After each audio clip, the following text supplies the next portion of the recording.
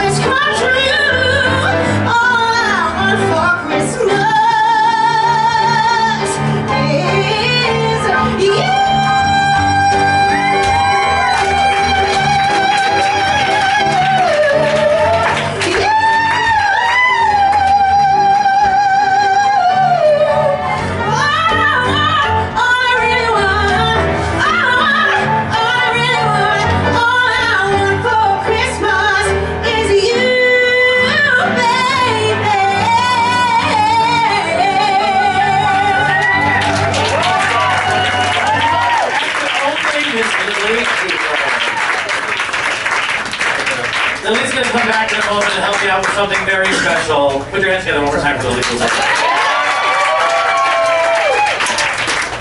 Our next performer